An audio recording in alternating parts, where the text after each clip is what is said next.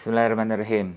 Tips bagaimana cara menghindari ketidaklancaran proses check-in hotel ketika kita handling grup wisata, khususnya pada hotel berbintang.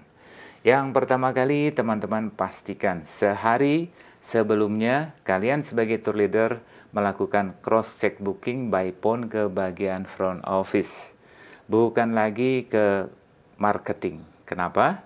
Karena antara marketing dengan front office bisa saja miskomunikasi.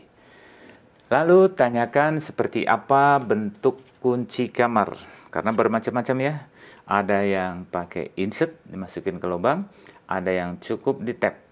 Dan berapa jumlahnya setiap kamar? Satu atau dua?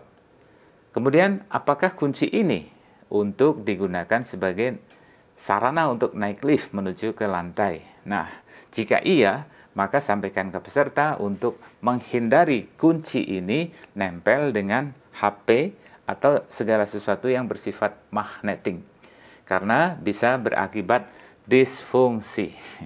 Selanjutnya, tanyakan fasilitas apa saja yang ada di kamar, terutama untuk keperluan mandi, handuk, sabun, sikat gigi, odol, sandal, saving kit.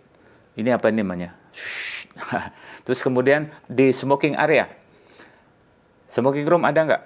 Kalau tidak ada, maka sampaikan karena akan bisa terjadi sanksi yang cukup besar dari pihak hotel. Jangan lupa tanyakan fasilitas lainnya seperti tempat breakfast, kolam renang, lokasinya berada di mana.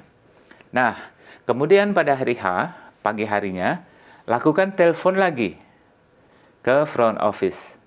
Tanya, Bang, Mbak, jam berapa? semua kamar yang saya booking bisa dalam keadaan vacant.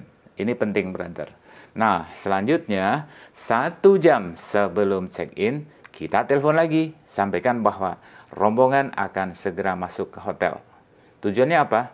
Minta tolong disiapkan rooming list beserta kuncinya agar mereka nggak nunggu lama. Kemudian welcome drink tentunya ya. Saran saya nih teman-teman, jangan lagi lakukan kolektif bagasi. Ini bahaya, bahaya banget. Biar saja para tamu mengurus barang bawaannya sendiri. Agar kalian terhindar dari kesalahan maupun kehilangan bagasi tamu. Demikian brother, ikuti channel ini. Terima kasih.